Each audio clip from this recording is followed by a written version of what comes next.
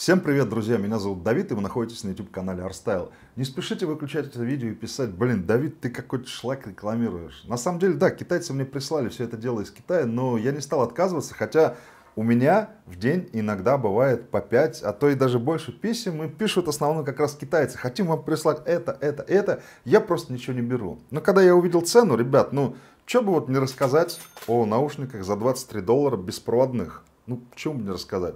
Почему бы не рассказать о пауэрбэнке, который на 20 тысяч миллиампер, но честно пишут, что 12 реально фактически, что редкость. Обычно, если 20 пишут и людей обманывают. Здесь же реально пишут 20, но доступно 12. Я его проверил, действительно заряжает очень неплохо. С индикацией. Что бы мне рассказать о наушниках за 25 долларов, которые звучат, конечно, средненько, но за такие деньги на Алиэкспресс, почему бы нет? Поэтому налейте себе чашечку чая, если вы пьете чай, там, не знаю, кофе, и приятного просмотра расскажу об этих гаджетах, стоит ли их покупать за такие небольшие деньги. И они обещают, кстати, большие скидки еще, поэтому ссылку я оставлю, может быть, вы попадете, если будете, конечно, покупать все это, еще дешевле купите. Притом на Алиэкспресс, не какой-то левый магазин, а чистый, приятный, известный нам в России, ну, те, кто из России меня смотрит и других стран тоже, Алиэкспресс. Погнали. Первое, вот прям прям меня удивили. Удивили, наверное, все-таки качеством звука, потому что я ожидал какого-то отстоя. Сразу забегая вперед, скажу, что вот эти наушники беспроводные подороже вообще, ну так, так, как гарнитуру больше использовать, либо в игрушечки поиграть, фильм посмотреть. Но вот эти, конечно же, в этих беспроводных наушниках, которые вот с таким ободком, все очень культурно, притом они не сэкономили, и здесь есть магниты, чтобы наушники не болтались, если вы спортом можете занимать, ну просто ходили, они вот так, чашечки соединяются, здесь магнит. И знаете, в ушах сидят нормально, хоть и выглядят большоватыми, не выскакивают при ходьбе. Бегать с ними не бегал, честно скажу. Здесь сильно не мешают. На морозе, конечно, когда подключил только, показалось, что они холодноваты, но потом привык и вполне себе комфортно ходил. Конечно, в них есть микрофон, я разговаривал по ним, ответить на вызов можно, есть кнопка. Есть кнопки громкости и удерживая ее долго переключаешь следующий трек, а, соответственно, назад удерживает долго предыдущий трек. Включение, пауза, микрофон, все как и есть, но за 23 бакса. Микрофон вот здесь. Звук. Конечно, не хватает средних частот, не хватает, конечно, высоких частот, но басы, на удивление, ничего. То есть музыку такую, ну, а танцевальную, что-то такое, попсу, грубо говоря, что вполне себе нормально, комфортной громкости хватает. И в метро даже хватает, что удивительно, хорошо все. Не подумайте, что я как-то очень сильно расхваливаю, но вот это за 23 доллара очень хорошая покупка. Может быть, есть и предложение лучше, но я ими доволен. Вот реально доволен. Производитель заявляет время разговора аж до 8 часов, прослушивание музыки до 10 часов. Это реально хорошие цифры. А зарядку обещает быстро. Я не проверял прям, что 10 часов они музыку у меня не играли, но по ощущениям там не разряжается через 2-3 часа, на чем уже спасибо.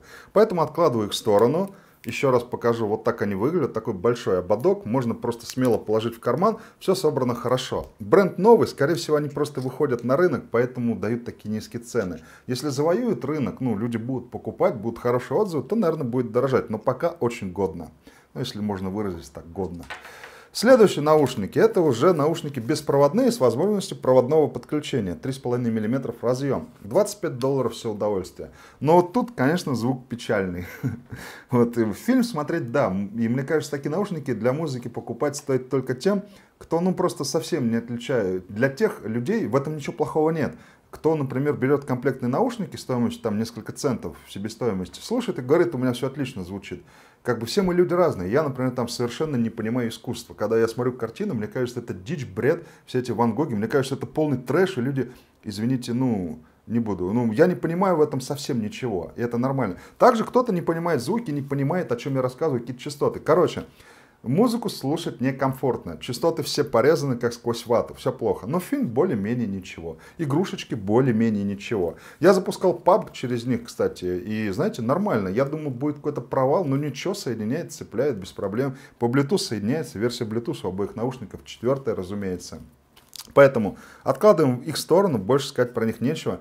Э, через них я звонок также сделал, проверил. Кстати, изолируют неплохо. Не так в метро я бы не советовал, но все равно изоляция какая-то есть. Амбушюры мягкие, ну, относительно. И если у вас большая голова, как у меня, то нормально, не давят сильно.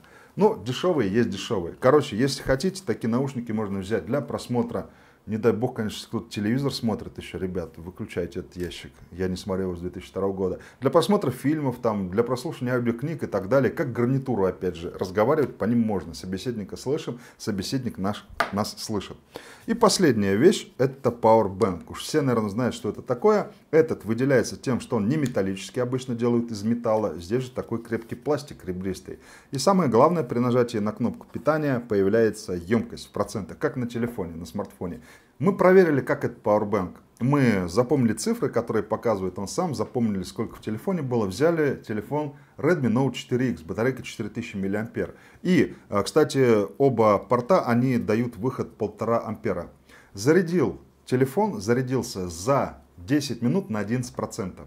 За 30 минут с этого Powerbank он зарядился на 35%. То есть считайте сами. В принципе, нормально, учитывая, что этот Powerbank также стоит 23 доллара что в принципе нормально, не скажу, что сильно дорого, и позволяет зарядить его через Type-C и через micro-USB. Кроме того, еще имеет выход Type-C. Это, знаете, такие кабели есть специфичные очень. С двух сторон там обычный Type-C. Так вот, пожалуйста, здесь он есть. Если вы такой кабель вдруг у вас на Nexus, 5, на Nexus новых такой был года три назад. Именно Type-C сторон. Вот здесь он есть, куча разъемов.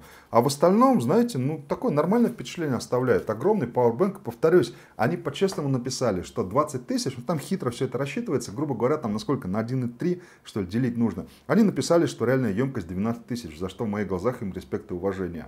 Поэтому, ну как минимум, раза два с половиной-три ваш телефон даже с большой батарейкой вы зарядить сможете.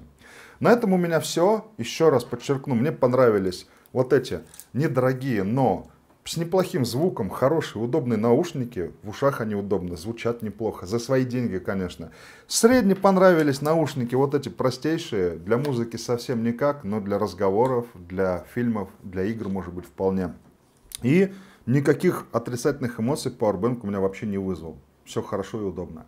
На этом у меня все. Как всегда, желаю, будьте здоровы, будьте успешны, будьте позитивны. До новых выпусков. С уважением ко всем, Давид. Счастливо.